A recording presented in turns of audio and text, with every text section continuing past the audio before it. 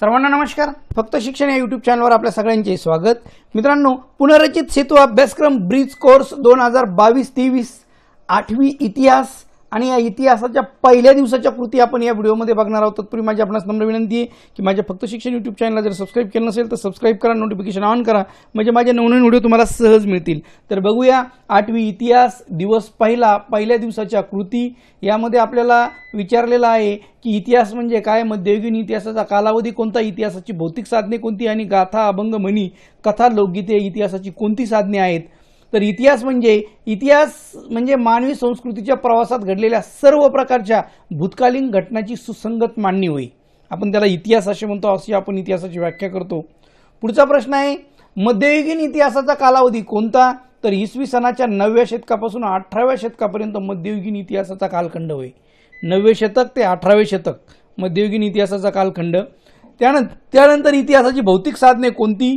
तर स्मारके इमारत लेणी ना नाणी ताम्रपट किल्ले ही इतिहासाची भौतिक साधने आहेत. इतिहासाची ही कोणती साधने आहे भौतिक साधने आहे त्यानंतर गाथा अभंग म्हणी कथा लोकगीते इतिहासाची कोणती साधने आहे तर गाथा अभंग म्हणी लोककथा गीते ही सर्व इतिहासाची मौखिक साधने आहेत. त्यानंतर कृतीमध्ये आहे प्राचीन काळात कवडी दमडी देला पई पैसा आणा रुपया ही नाणी प्रचलित होती. नाण्यावरून काही म्हणी वाक्प्रचार प्रचलित आहेत ते शोधायचेत आपल्याला. इतिहासाच्या पुनर्लेखनासाठी विविध भौत भौतिक साधनांचा उपयोग कसा होतो ते सांगायचं आहे तुमच्या गावात शहरात ऐतिहासिक स्थळाची गुगलद्वारे माहिती मिळवायची किंवा वडीलधाऱ्यांकडून ती माहिती मिळवून घ्यायची. तर पहिल्या प्रश्नाचं उत्तर आहे नाण्यावरून पैशावरून ज्या म्हणी आहे पैसा पैशाकडेच जातो. आपण म्हणतो बा पैसा पैशाकडे जातो. म्हणजे श्रीमंत अधिक श्रीमंतच होत जातो असं म्हणतो आपण. त्याला हे ही म्हणून वापरतो आपण. त्यानंतर दुसऱ्याच्या दुसऱ्याचा पैसा खर्च करून औदार्य दाखविणे. एखादा नाही का दुसऱ्याच्या जीवावर खर्च करत असेल तर त्याला आपण म्हणतो दुसऱ्याच्या पै पैसा खर्च करून औदार्य दाखवणे. पैपैचा हिशोब ठेवणे. यालाच पैपैचा हिशोब घेणे असं देखील वाक्प्रचार प्रचलित आहे. खिशात नाही आणा. म्हणे मला बाजीराव म्हणा. इथं आण झालं पण ते नला काना पाहिजे हा. खिशात नाही आणा म्हणे मला बाजीराव म्हणा. आपण म्हणतो बा ज्याच्याकडे पैसा नाही आणि तो खूप फुशारकी गाजवतो त्याला आपण हा वापरा ही म्हण आजही वापरली जाते ग्रामीण भागात.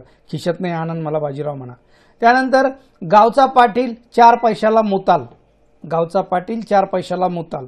म्हणजे जुने पाटील जे लोक होते आणि त्यांची आज गरिबी आली आपण त्यावेळेस हे वाक्प्रचार वापरतो. आपली ही म्हण वापरतो. त्यानंतर एक फुटकी कवडी न देणे हे वाक्प्रचार आहे. काहीही न देणे एक फुटकी कवडी न देणे. आणि चार आण्याची कोंबडी बारा आण्याचा मसाला. चार आण्याची कोंबडी बारा आण्याचा मसाला ही म्हण देखील ग्रामीण भागामध्ये आणि सर्रस आपल्या मराठी बोली भाषेमध्ये सर्रस वापरली जाते. इतिहासाच्या पुनर्लेखनासाठी विविध भौतिक साधनांचा उपयोग कसा केला जातो इतिहासाच्या पुनर्लेखनासाठी विविध भौतिक साधनांचा उपयोग कालखंडाचा बोध होण्यासाठी होतो. त्या काळातील सामाजिक राजकीय स्थिती समजते आणि नाण्यावरून राज्यकर्ते समजतात त्या काळातले.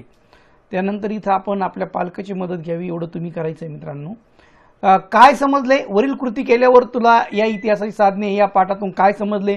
तर यातील इति- इतिहासाच्या अभ्यासाची भौतिक लिखित व मौखिक साधने कोणती आहेत? या साधनातून इतिहासाची माहिती कशी मिळवली जाते हे समजले. या साधनामुळे त्या काळातील लिपी भाषा चालीरीती रूढी परंपरा संस्कृती समजण्यास व संशोधनास ही साधने खूप उपयुक्त आहेत हे देखील मला या पाठातून समजले. पुढे जाऊया. इथं या चौकोनात दडलेली काही ऐतिहासिक साधनांची नावे आहे इतिहासाच्या. ती नावे शोधायची. तर बघा ती नावे अशी आहे मित्रांनो. बघा दंतकथा ठरायला या. दंतकथा इथपर्यंत आहे मित्रांनो दंतकथा. थ कसं काय सुटलं पण माझ्याकडून. त्यानंतर पोवाडे शिलालेख आणि बघा इकडे लोकगीते. हे एवढी आपण इथं साधने ऐतिहासिक साधने आहेत. पुन्हा नवीन व्हिडिओमध्ये नवीन घटकासह लवकरच भेटूया. तोपर्यंत